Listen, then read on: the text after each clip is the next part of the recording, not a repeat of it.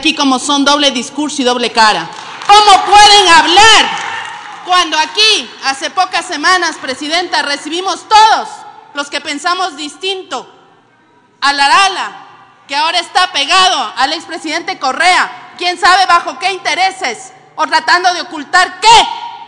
Recibimos insultos permanentes, señora Presidenta. La asambleísta Guiñaga se dio la vuelta y me insultó.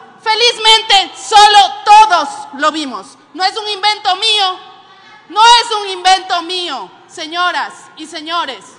Jamás me he referido en términos inadecuados e inapropiados a ningún colega asambleísta. Podemos discrepar. Por favor, respete, asambleísta, préndalo.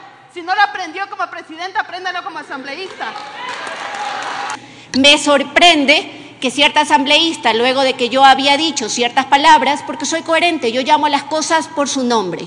Y cuando una persona traiciona un ideal, un principio, una convicción, una pasión por cargos públicos, por que no persigan a cierto pariente, porque tienen alguna cosa que responder, Presidenta, para mí eso se llama traición.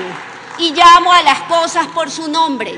Y si la persona que se siente aludida luego sale a un medio de comunicación y dice que no escuchó nada, quiere poner hoy una denuncia, Presidenta, le pido que se me sea notificada una vez que se me inicie el sumario para ejercer mi derecho a la defensa como tiene cualquier ciudadano. Yo me solidarizo contigo, María José, y te llamé por teléfono y también lo hice públicamente en mi comisión por esos insultos.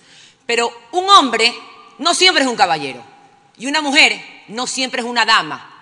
Eso lo dicen sus actos y eso se aprende en la casa, en la cuna. A mí me enseñaron a respetar a mis mayores, a mí me enseñaron a levantarme y darle puesto a los ancianos, a mí me enseñaron a realmente ayudar a cruzar la calle a la gente. Eso me enseñaron mis padres. Yo no tengo título universitario ni he ocupado una alta magistratura aquí en, el Parlamento.